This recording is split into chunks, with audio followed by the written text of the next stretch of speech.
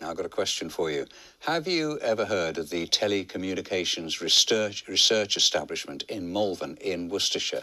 It was dubbed the Hidden Bletchley after the place where World War II codebreakers cracked the Germans' Enigma code.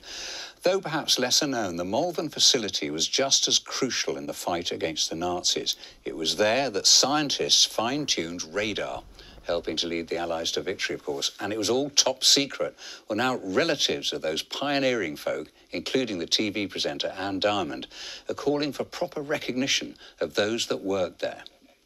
Well, it was so secret that nobody ever talked about it. But I've been told by so many historians that, you know, the part the radar scientists played in Malvern was every bit as important as the code breaking done at Bletchley Park.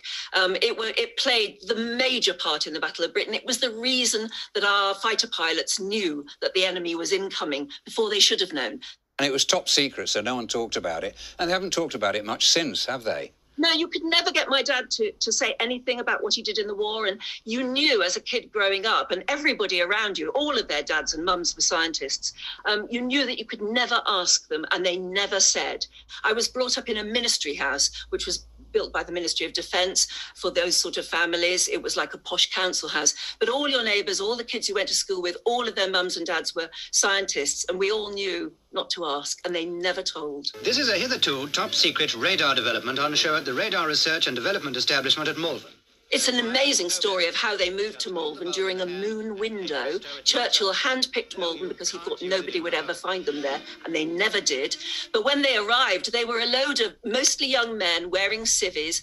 Uh, all the locals thought they were conscientious objectors or spies or something even worse. So they spat at them in the street, they sent them white feathers. They were very, very hostile at first.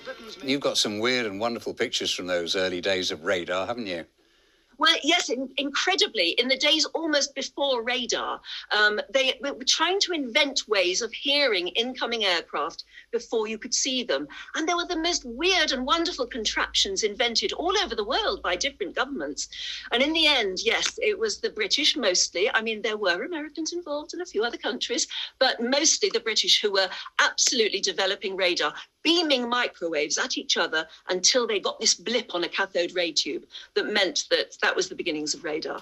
And you want to get in touch now with people similar to yourself, similar age group, who are the sons and daughters of the scientists from Malvern.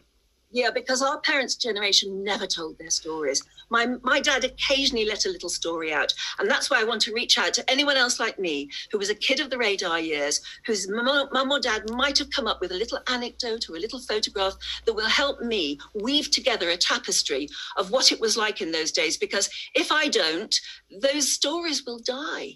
Anne Diamond, um, old friend, thank you. She's already had loads of fascinating letters, including one from a, a lady, I think, who's the, the daughter of a scientist. And her parents, they actually split up after the war because her mum thought all the time that her dad was having an affair because he's away every week, you know, somewhere obscure. And she thought he was having an affair. Uh, isn't that sad that they thought that because of the official secrets? He never told her.